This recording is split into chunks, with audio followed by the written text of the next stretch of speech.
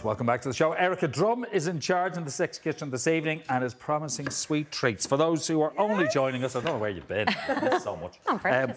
what? Uh, what are you making? We are making a very, very moist, delicious almond and orange cake. And you guys have So some ready, pretty. yes, Ready already, yeah. before and after. So I wanted to use rhubarb because it's coming into season now. This is forced rhubarb, so you'll see it's much pinker. And that's the first rhubarb of the season. What'd you say? It's It's called forced rhubarb. Forced where rhubarb. It's f- it's put underneath terracotta pots with an opening, and it's forced to grow quite fast to the light, Ah. Which gives it a bit more sweetness, so not quite as tart. Can we say encouraged rather than forced? Because forced sounds No kind of rewards violent. have been hurt in the first- making Yeah, of this yeah, cake. yeah. The first forced rhubarb um, was in Yorkshire, and it was done with it picked with candlelight and everything. It's all very, and that's the name it has, 100 years old. But this Okay. is, uh, Wow. yeah, absolutely gorgeous. But Ryan's rhubarb, an grown in. Dublin. How you juice that orange? How can I? Yeah, I think no, I've never seen it done like that. Always put my hand in it.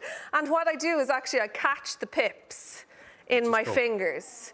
I think it comes down to laziness of not having another implement to clean.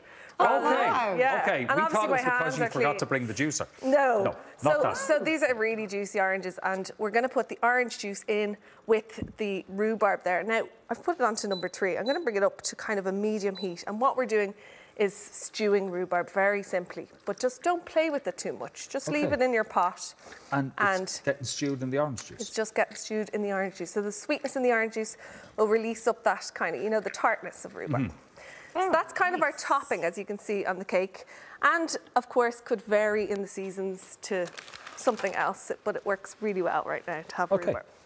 So we're going to leave that be, stew away. I might put it up a bit, bit higher to give us a bit of. Um, When you say stewing now, are you bringing it to the boil and letting it simmer, or do you never bring it to the boil? I don't think so. Okay. It, basically, you don't want it to be frustrated and, and bubbling around because it will start. It's already been forced. Yeah, you don't want to it's frustrate forced it to be well. here already. Please.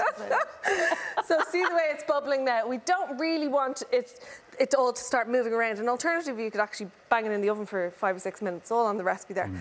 So as it as it moves around, it starts separating.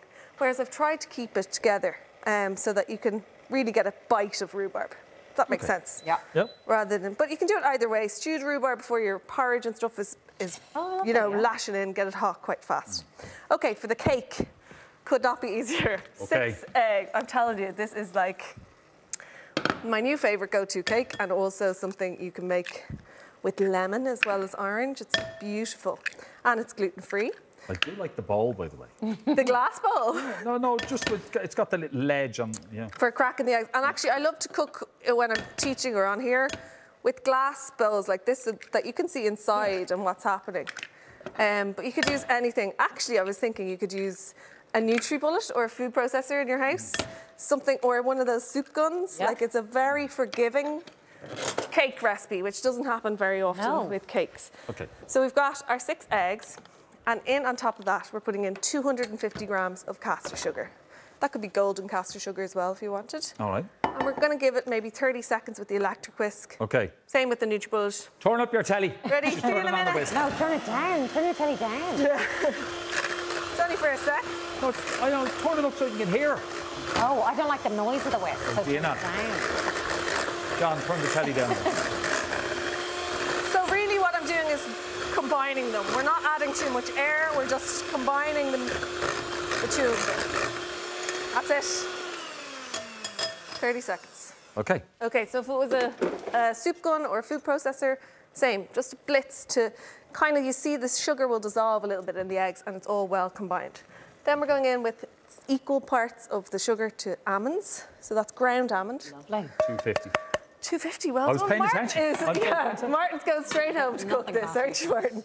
And then a pinch of cinnamon, optional if you hate cinnamon, don't put it in, but I absolutely adore it. So I'm putting in some cinnamon and then the zest of the orange. So remember, we have the juice of the orange in mm-hmm. here and the zest is going into the cake, so we've got double orange flavour. The thing about the zest is it's got oils in it. So they hit kind of your mouth differently than the juice. So you oh. definitely, yeah, it's the same with, with citrus, with lemon and stuff. I'd often use the, the zest and the juice in whatever I'm making so that I get the double flavour. Don't waste it as well. It really smells so orangey. So this is where like kids and stuff get involved because it's not too fussy. It's not like a Victoria sponge or something where you Where you need be your precise. yeah, and you have to mm. keep the air in it and everything. Mm. It's kind of sloppy, messy, kind of. But, you definitely want gonna- it combined. Once it hits that oven, that's when it becomes. Yeah, exactly. So that's it, all mixed together. That is your cake. All right. Line your tin. If anyone sees these in their house, this is what it's for. Oh, yes. This might, there nearly throw be more out. of these in the fridge than there would be actual butter when we were Really? kids. Funny. But this is what it's kept for, to scoop a little bit of butter into it and rub it all over whatever you're using, your tin, or you could use a loaf tin like I have with the cake that you guys Okay. have there. But the parchment paper is. Yeah. The parchment paper is also stuck down with a little bit of butter and it's kind of essential for this cake, I have to say. It sticks to the edges we otherwise. got about two minutes. Great. Cake is going in. One, two, three. So with the measurements you've given, what inch is that baking tray? Is This that 10 about inch? nine or ten, yeah. And with this size, it's about 30 minutes. And then in the loaf tin, so something a bit tighter, narrower, where the where the cake's going to be deeper, is about 40 minutes. Okay. Okay. You keep an eye. So up 180. So we'll do a swapperoo here. Okay. That. And that is gone in.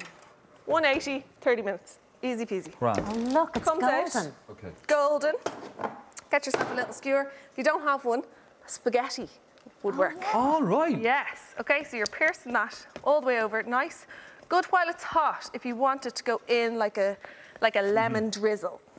But if you want it to be thick, like I've kind of done in the other one, you don't have to put it in while it's hot. Okay.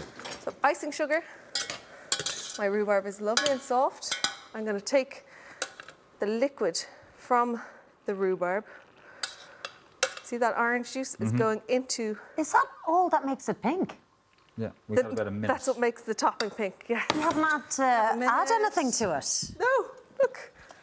Because the forced rhubarb is, is known to be more um, pink in colour. So mix it well. You don't need to sieve it. It will come, come together. And we have a You're getting minute. stuck in already. Guys, get tasting, Well, I'm going to, please. 'cause I feel like I always want get you to shortchanged and I never how get to moist taste. It is. Oh, It really is so soft. It's only eggs, almonds, and sugar, really. Do you know? And Oh, it's equal delicious. parts. So we're going to pour that over the middle seat. All that is going right Hmm. into the holes, into the edges. And if we can crack it open, it's going to pour everywhere, but who cares?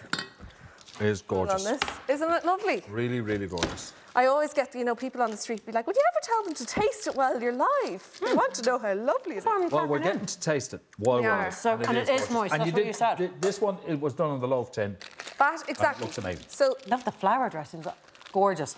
Okay, I'm going to say thank you That's to everyone while you do No that. problem. That is all from us for tonight. A massive thank you to all of our guests for joining us and to Eric for the treats. I'm yeah, yeah. Remember, you can catch Erica's recipe on our socials. Give it a rewatch if you like YouTube. Just search VMTV Food. You have Ray Foley and Una Healy minding you tomorrow night. They're going to be chatting to Rob Kearney and Samantha Mumba, so make sure you tune in for that. Look after yourselves. We'll see you soon. Bye.